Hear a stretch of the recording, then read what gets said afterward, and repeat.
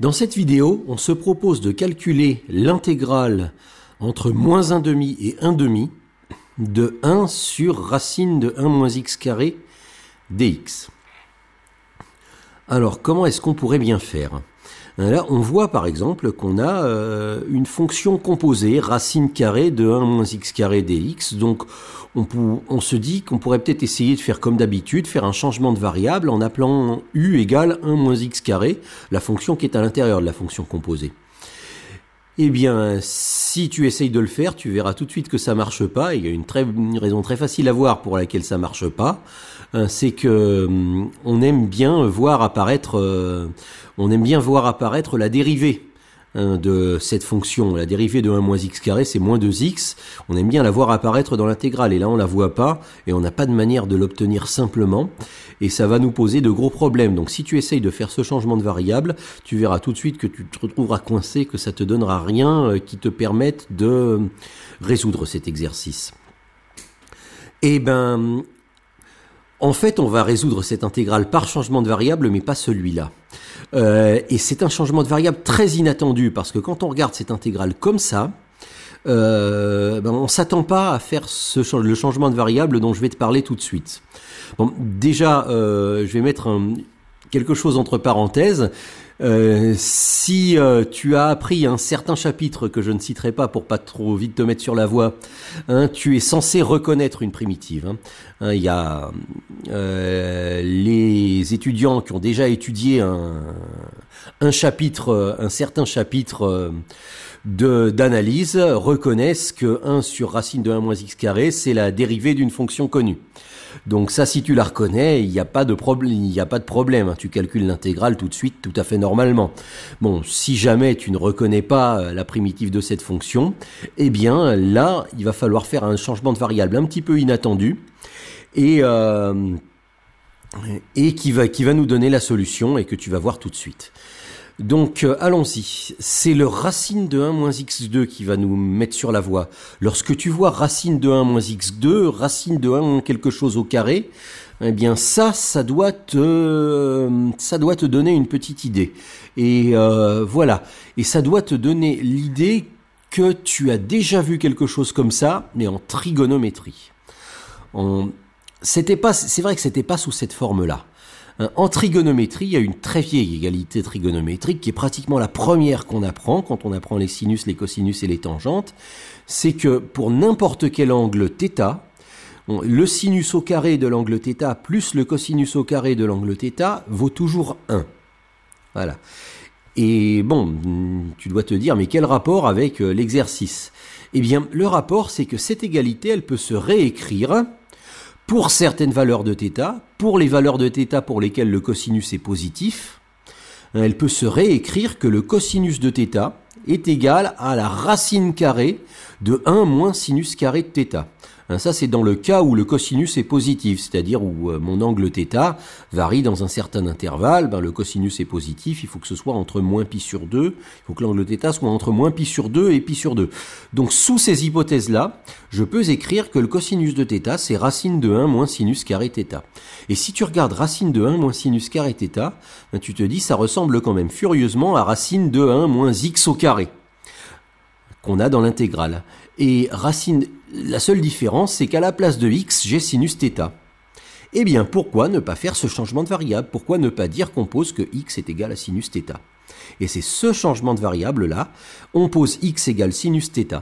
C'est ce changement de variable-là qui va me débloquer la situation parce qu'elle va me transformer cette intégrale en euh, l'intégrale d'une fonction qui se sert de la trigonométrie et qui va être très facile à calculer, comme tu vas le voir par la suite.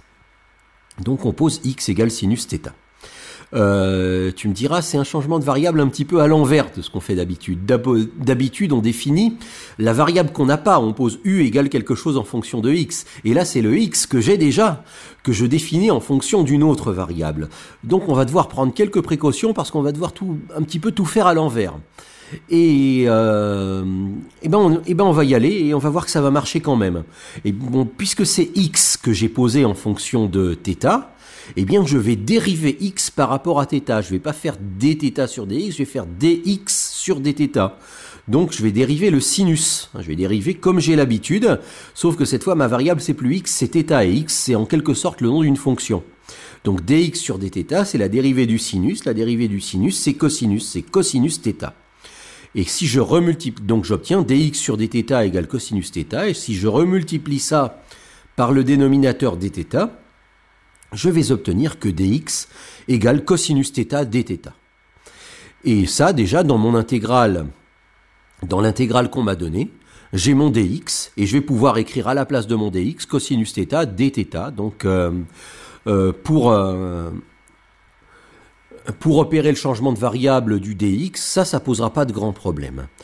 Maintenant, le problème, hein, ce qui va un peu compliquer, c'est que vont devenir les bornes d'intégration. Lorsque x varie de moins 1,5 à 1,5, euh, comment va varier θ?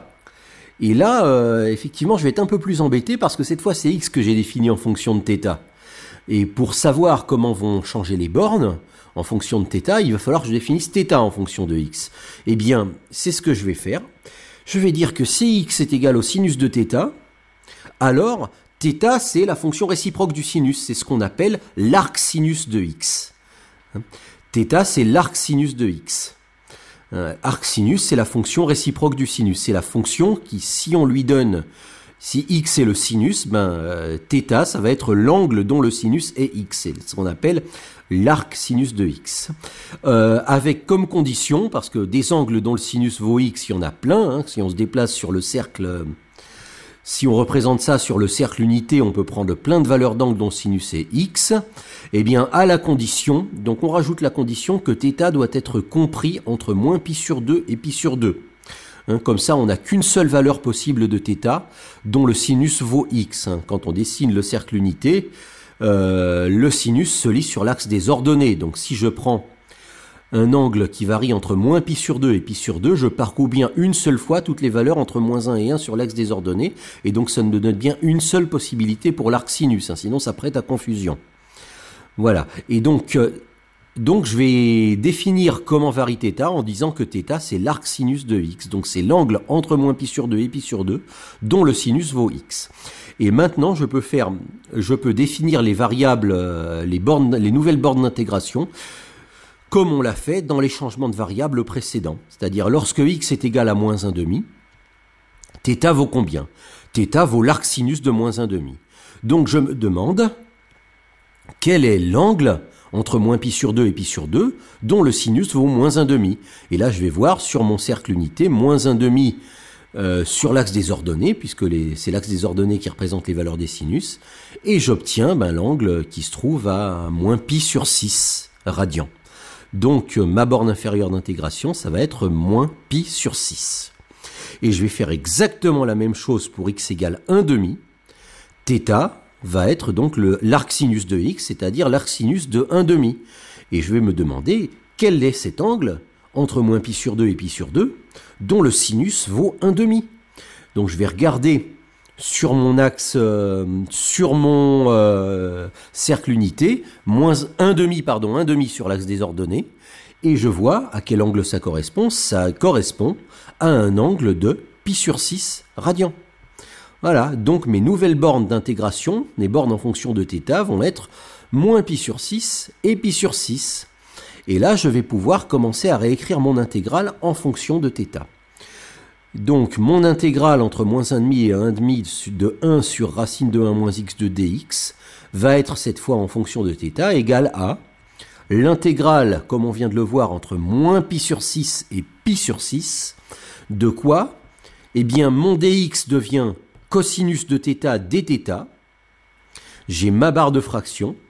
Et en dessous de la barre de fraction, c'est racine de 1 moins x carré. Oui, mais x, on a choisi de l'appeler cosinus, euh, on a choisi, pardon, de l'appeler sinus θ. Donc je vais obtenir racine de 1 moins sinus carré θ. J'ai remplacé x par sinus θ. Et voilà, j'ai une intégrale en fonction, exclusivement en fonction de euh, θ. Et on va calculer cette intégrale-là. Bon là peut-être que tu peux te dire ah oui mais c'est encore plus compliqué. Ben non c'est pas encore plus compliqué, c'est même beaucoup plus simple parce que là on a des identités trigonométriques qui vont considérablement nous faciliter la vie. Euh, par exemple regarde le dénominateur de la fraction racine de 1 moins sinus carré θ Eh bien, on a écrit, hein, on a écrit là du côté droit de l'écran, on a écrit ce que c'était, on a écrit que tout ce racine de 1 moins sinus carré θ, c'est égal à cosinus θ. Et c'est bien égal à cosinus θ parce que lorsque θ varie entre moins pi sur 6 et pi sur 6, le cosinus, ça se voit sur le cercle, est bien positif. Donc au lieu de ce racine de 1 moins sinus carré θ, à sa, à sa place, je peux mettre tout simplement cosinus θ. Et que devient mon intégrale euh, Mon intégrale, elle va devenir l'intégrale entre moins pi sur 6 et pi sur 6 de cosinus θ que j'avais déjà sur cosinus θ, le nouveau que j'obtiens après simplification de la racine, dθ. Et là, on commence à voir le bout du tunnel. Hein. parce que cosinus θ divisé par cosinus θ, eh ben, ça fait 1. Et s'il me reste plus que 1 comme fonction à l'intérieur de l'intégrale, je vais pas avoir trop de problèmes à terminer le calcul. Donc mon intégrale entre moins 1 demi et 1 demi de 1 sur racine de 1 moins x carré dx, elle est transformée, tout ce qui reste, c'est l'intégrale de moins pi sur 6 à pi sur 6 de la fonction constante 1 fois dθ. Et donc la fonction constante 1, sa primitive en fonction de θ, ça c'est pas un problème, c'est la fonction constante θ. Donc ceci, c'est égal à la fonction constante θ, prise entre moins pi sur 6 et pi sur 6. Et il me reste plus qu'à identifier θ à pi sur 6, identifier θ à moins pi sur 6 et à faire la différence et je vais obtenir la valeur de l'intégrale en un rien de temps. Donc l'intégrale entre moins 1,5 et 1,5 de 1 sur racine de 1 moins x carré dx est égale à... Je remplace θ par pi sur 6, ça fait pi sur 6. Ensuite, je remplace θ par moins pi sur 6 et je fais la différence. Donc je vais obtenir moins moins qui va me donner plus. Plus quoi? Plus pi sur 6. Donc résultat, pi sur 6 plus pi sur 6. Pi sur 6 plus pi sur 6 qui fait évidemment pi sur 3. Donc le résultat de ce calcul d'intégrale, c'est pi sur 3. Et pour l'obtenir, il a fallu repérer le racine de 1 moins x carré et penser à faire le changement de variable x égale sinus. Et euh, ce changement de variable-là nous a donné la solution. Et c'est vrai que ce changement de variable, hein, il n'était pas évident à voir quand on l'a pas vu au moins une fois. Hein, c'est pas la chose à laquelle on pense forcément. Mais donc, euh, donc, hum, essaye de retenir cette configuration pour quand tu vois un truc comparable, penser à faire ce changement de variable trigonométrique là.